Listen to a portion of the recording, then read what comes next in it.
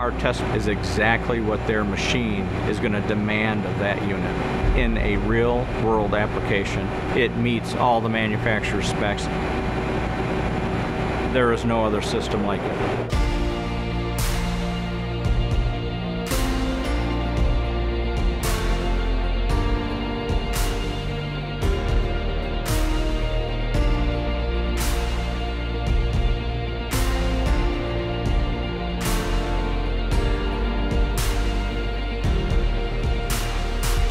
Today, we're proud to announce the next generation of testing is here.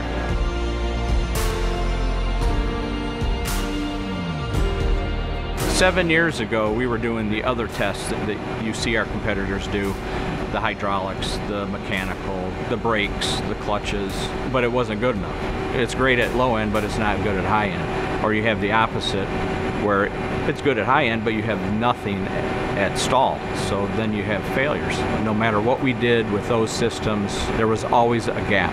And we said we have to come up with something better. So we created the dyno.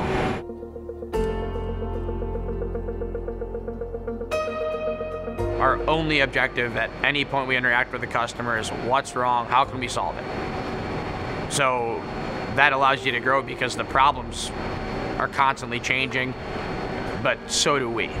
The most important torque in manufacturing is stall torque because that is the highest point of failure on a drive unit or a motor.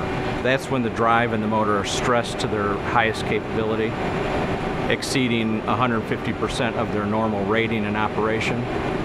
Once the machine is moving, then that demand greatly decreases. So if you're not checking for that, and you're not testing stall torque, you're not providing anything to the customer because that's what matters.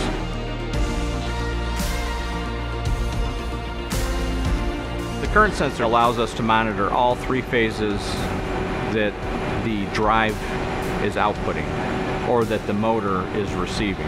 It's telling us real life amperage readings, super precise, really high end, different than what you typically see, which are Hall effect type. They're very fast and responsive. And they pick up micro amperage deviations.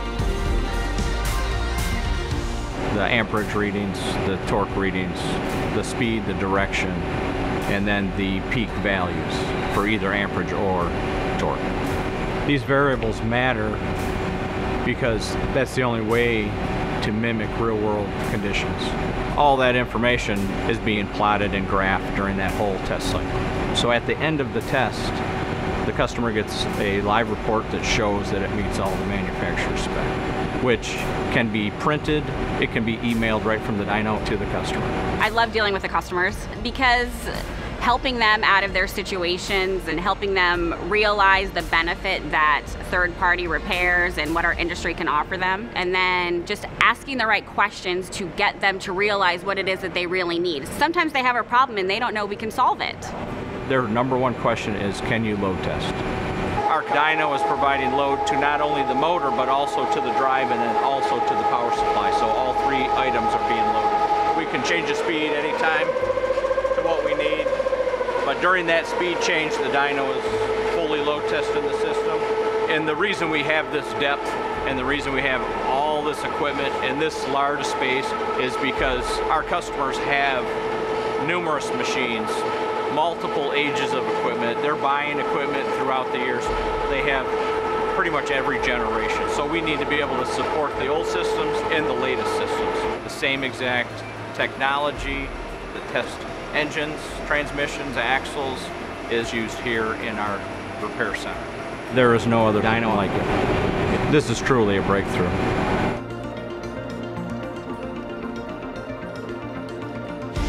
We do a really good job of identifying other problems in their manufacturing lines. You can't prevent everything, but you can create longer lasting solutions. A plant who doesn't use a solution company, they use band-aids, right? And we do surgery.